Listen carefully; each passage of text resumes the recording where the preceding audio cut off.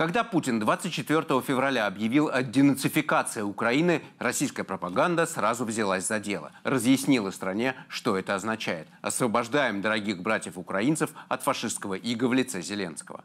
Когда в Москве увидели, что победы нет, нацисты записали уже большинство украинцев. Оказалось, что нацизм – это заразная болезнь. Придется лечить всех, пожимала плечами Маргарита Симонян. Появились термины «пассивный нацизм» и «нацифицированная масса населения». Зверств в Буче, Ирпене, Изюме с одной стороны не было, а с другой стороны, что делать с ними по-другому нельзя – Однако в течение последних полутора месяцев, по мере нарастания энергетического террора, российская пропаганда вышла на новый уровень. Не только никто уже не прячется. Да, бомбили и будем бомбить. Не только украинцев, вчерашних братьев, уже не жалко. Телевидение издевается, смеется над их мучениями, как, например, в этом уже нашумевшем выпуске новостей на телеканале «Россия». Там, в Киеве и Днепре, Одессе и Полтаве, Харькове и Виннице люди страдают без тепла и воды, без связи, без горячей еды. И, во-первых, это прикольно. Так можно и без волос остаться, если сушить голову над газовой плитой. И это в лучшем случае. На лентах новостей все больше сообщений об отравлении угарным газом. Вот журналисты пишут, в селе Белогородка девушка неправильно использовала генератор. Теперь в больнице. Его вообще нельзя оставлять на ночь, да еще и в подвале. Там же никакой вентиляции. Это уже получается смерти генераторы какие-то. Бреются на заправках – это же очень смешно. Не могут поджарить себе мясо со специями. Ха-ха, ну пусть готовят себе что-то попроще. Россия уже готовится встречать Новый год и веселиться. Мандарины и оливье, корпоративы и вечеринки, щелкунчики, елочные базары. А украинцы пускай шарят в своих потемках. Шутят и смеются все, от малоизвестной ведущей телеканала «Россия» до пресс-секретаря Лаврова Марии Захаровой или, например, депутатов. Вот депутат Олег Нилов шутит про ракеты для украинских детей. Мальчик Вова из Киева э, мечтает о ракетах. Вова, ты получишь ракеты, жди. Это шутка, конечно, такая без комментариев. Когда пропагандист Красовский призывает топить и жечь украинских детей, и Путин даже приказывает выгнать его из эфира, зато Следственный комитет закономерно в итоге отказывается возбуждать дело, когда издевается над Зеленским пропагандист Соловьев, когда артист Охлобыстин на Красной площади кричит Гойда, во всем этом есть надрыв и кривляние. Отчасти все они ведут себя как юродивые, доводят до безумия идею народной войны. Но в шутках про ракеты, смерти генераторы и бритье на заправках нет кривляния и абсурда. Это просто весело, это просто забавно, просто радость от наблюдения за мучениями других людей. Черный юмор в отношении врагов – это известный тоталитарный прием, напоминает социальный антрополог Александра Архипова.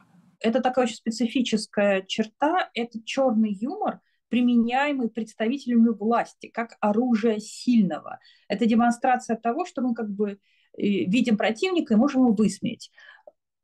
Э, парадоксальным, может быть, не парадоксальным образом, это несколько напоминает то, как э, товарищ Сталин использовал госсмех.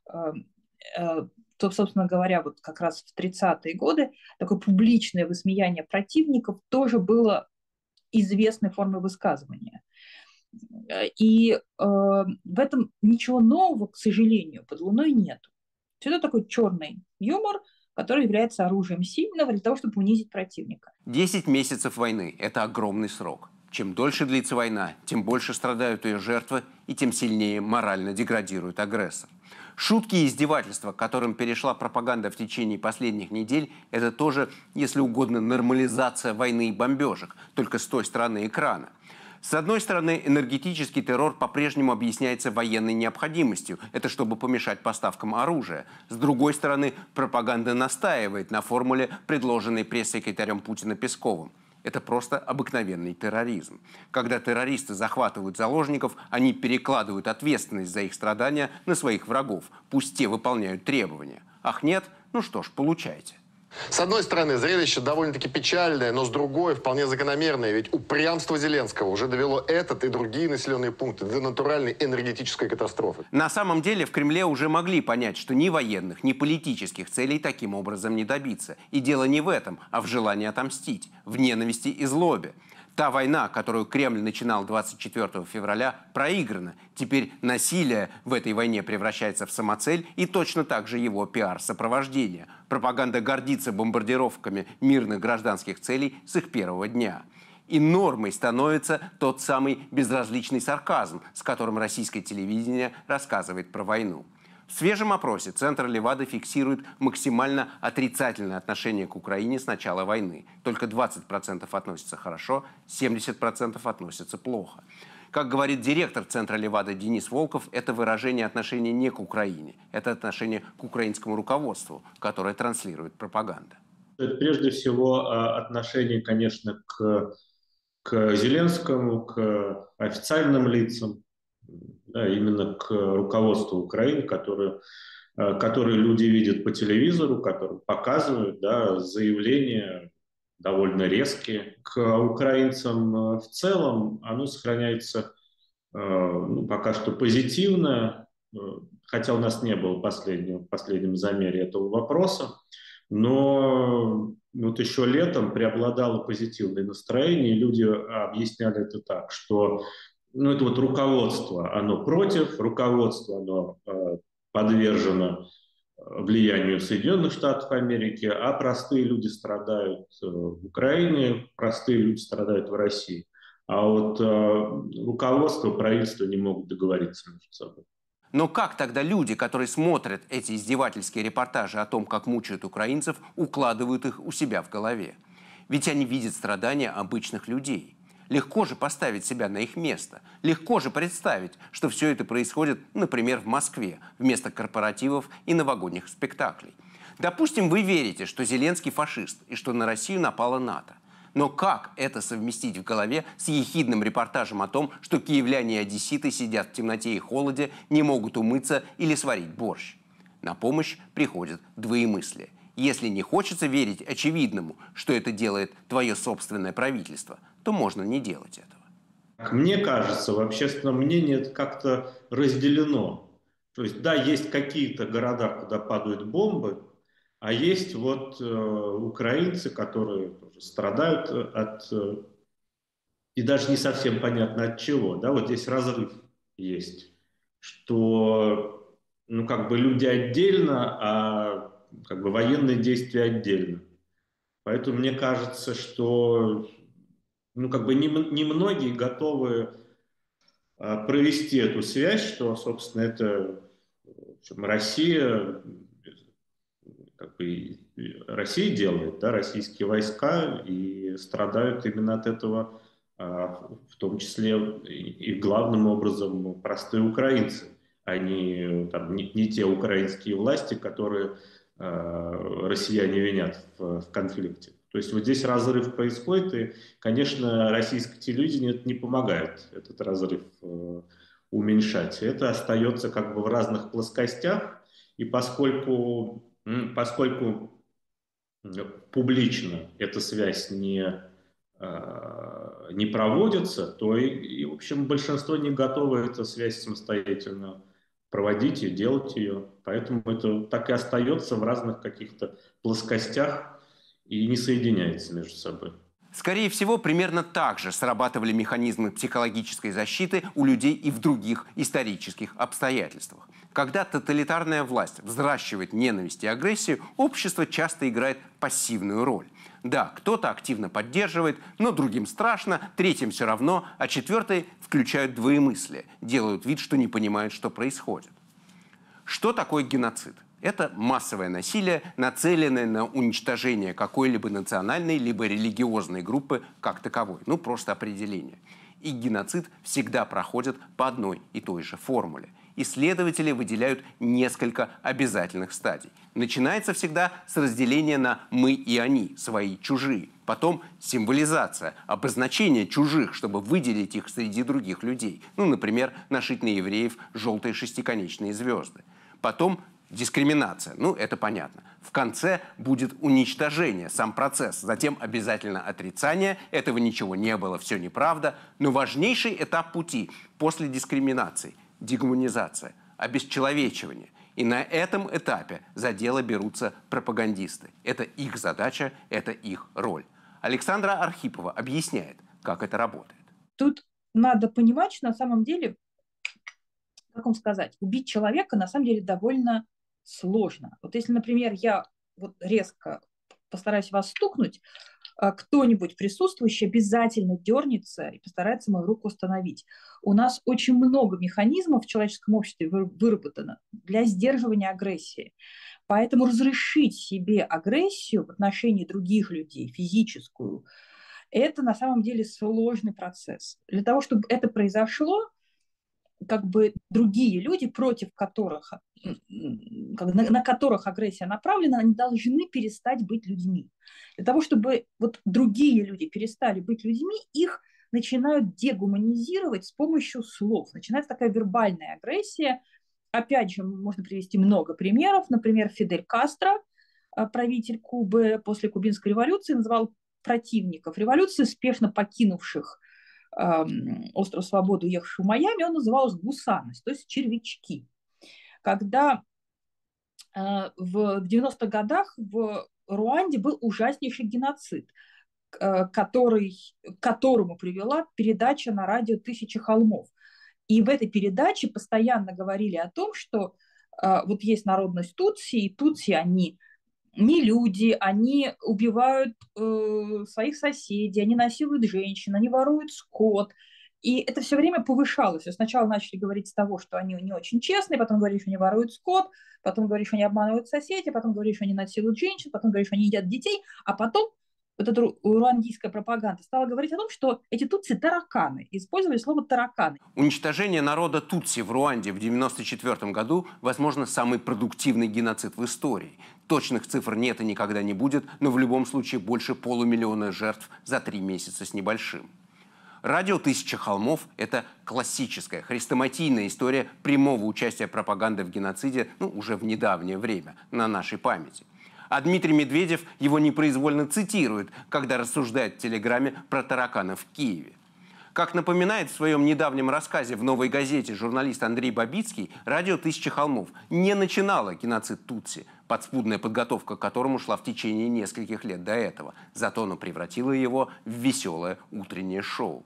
Государственные радиостанции в Руанде, хоть и обслуживали подготовку к этому ужасу, скучно жевали свою информационную жвачку – «Тысяча холмов» — это другое дело.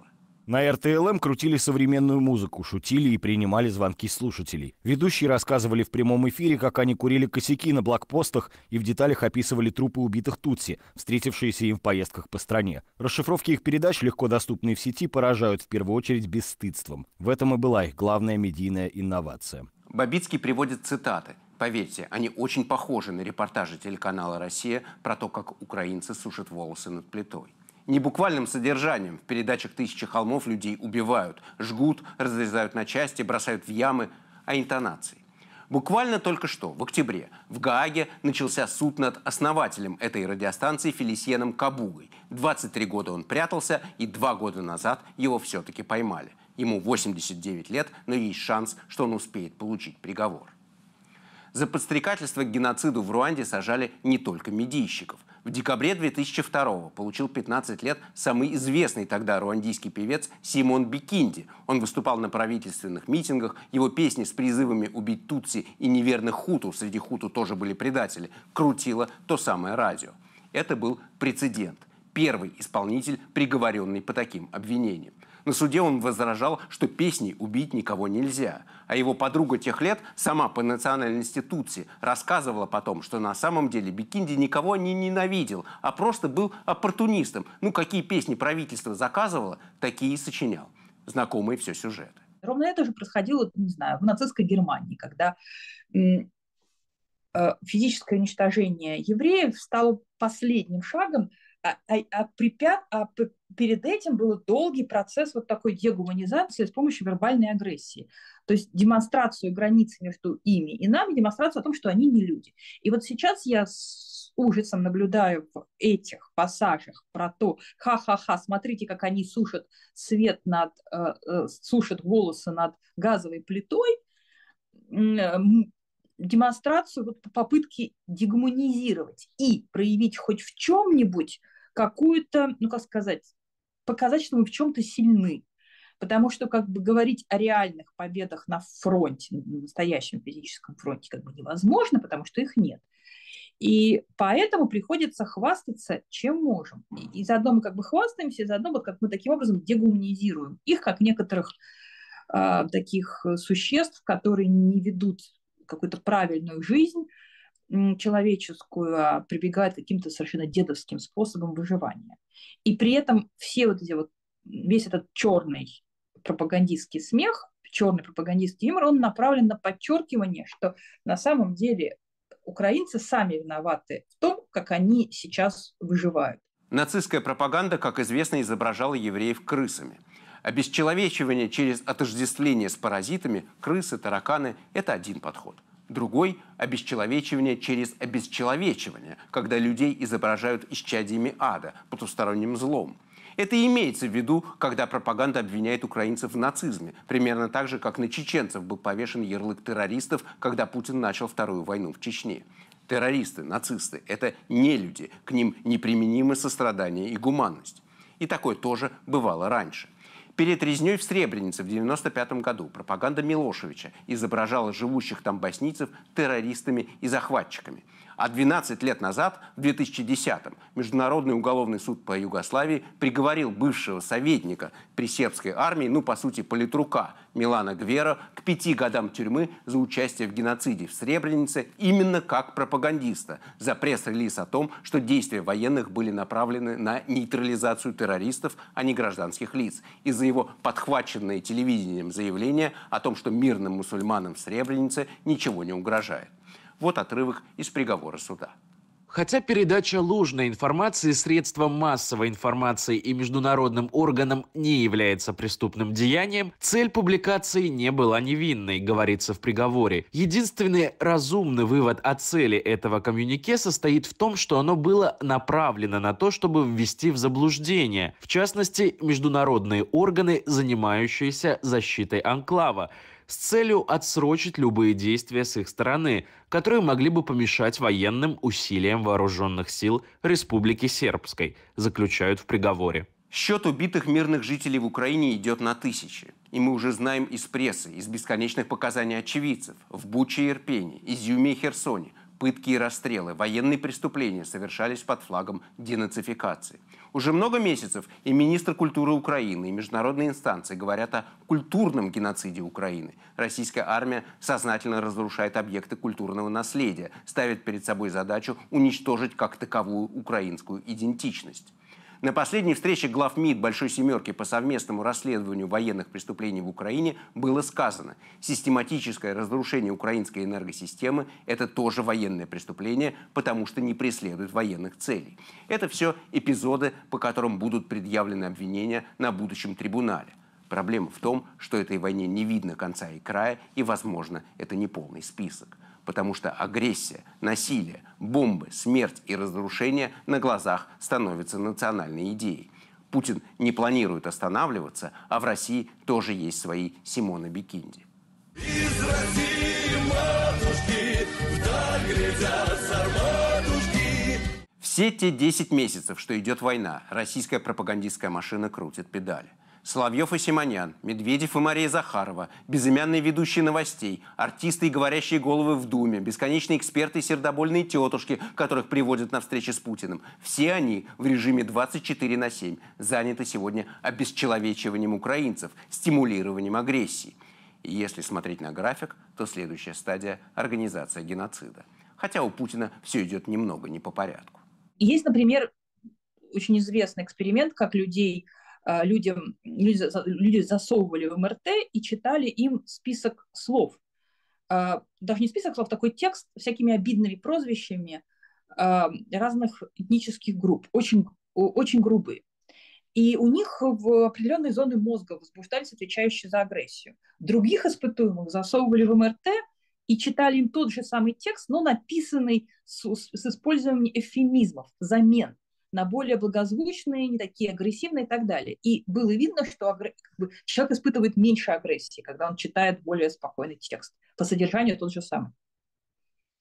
Не говоря о том, о других многочисленных экспериментах, например, участнику эксперимента Элизабет Лофту 70, 70 э, 2006 года показывали, э, как сталкиваются две машины.